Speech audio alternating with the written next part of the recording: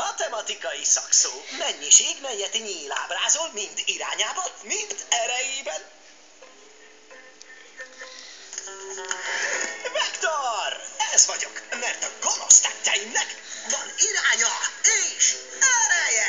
Ajé! Nézze az új fegyverem!